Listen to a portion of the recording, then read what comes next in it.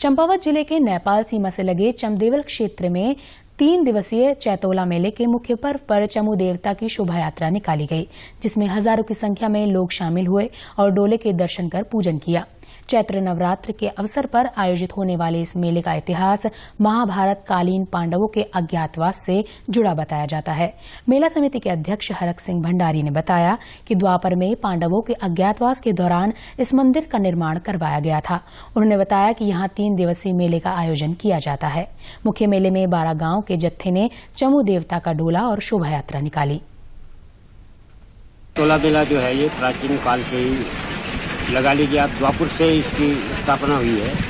पिछले दो साल से जो है ये कोरोना की वजह से नहीं हुआ था। अब ये यहाँ पर जो है इस चौखाम बाबा के इस प्रांगण में तीन दिवसीय ये मेला लगता है। पहला दिन जवानी के रूप में जाना जाता है, जिसमें मड़, सिलिंग चौपता नौल टुकड़ा बसकुनी जा गिल्डी के जत्थे आके चम्मू बाबा के मंदिर की परिक्रमा करते हैं। मान्यता है कि अज्ञातवास के दौरान पांडवों ने यहाँ रहकर मंदिर का निर्माण कराया था। स्थानीय शेर सिंह भंडारी के अनुसार मान्यता है कि पांडवों के अज्ञातवास के समय क्षेत्र में दैत्य का आतंक था। उसके आतंक से मुक्ति के लिए चमू देवता से प्रार्थना की गई थी, जिसके बाद चमू देवता ने बकासुर का वध कर दिया था। तब से ही यहाँ चैत्र नवरात्र के मौके पर मेले का आयोजन किया जाता है। नेपाल सीमा से लगे होने के कारण ये सीमांत क्षेत्र का सबसे बड़ा मेला है। मेले में व्यापारिक गतिविधियों के लिए स्थानीय लोगों के साथ ही नेपाल से भी लोग यहाँ पहुँचते हैं। बहुत लंबे समय से यह मेला व्यापारिक गतिविधियों का केंद्र भी बना हुआ है। चैतोला मेला आज द्वितीय दिन है। यह आज मुख्य मेले के नाम से जाना जाता है।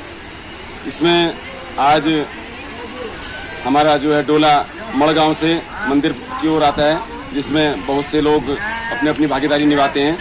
यह एक प्राचीन होने के नाते इसमें जो है यहाँ पर बहुत से लोग देश विदेश से भी यहाँ हमारे जो बाहर हमारे प्रवासी लोग रहते हैं, वो वो लोग सब आते हैं और बड़ी आस्था के साथ यहाँ हमारे चौखम बाबा में मन्नतें मांगते हैं और वह अपनी मन्नतों को पूरा करते हैं।